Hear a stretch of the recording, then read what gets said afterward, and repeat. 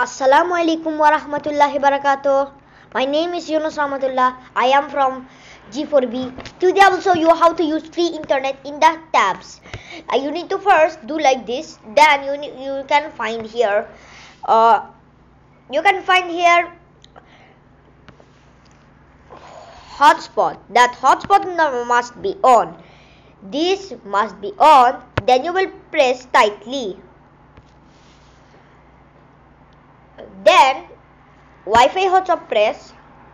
Then you need to press hotspot name. You need to write your name, hotspot name. Then you need to write what security you want. Which uh, security? I write WebPS personal. I can make none. No need to WebPS personal. When I want security for all my device, my this device, I can go to WebPS. Then I can go advanced. Then delete hotspot password.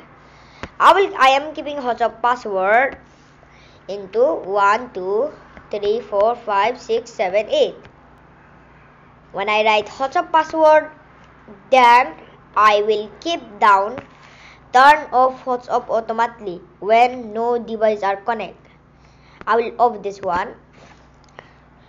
Then I will press this one scanner. Then I will write my password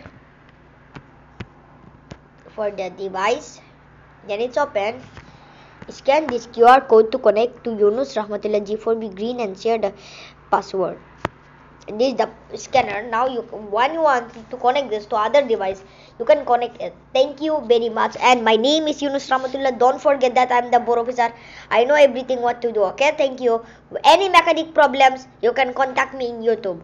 And tell me your number like this. You need to contact me in Younus Rahmatullah so subscribe to my channel and see my channel. Bye bye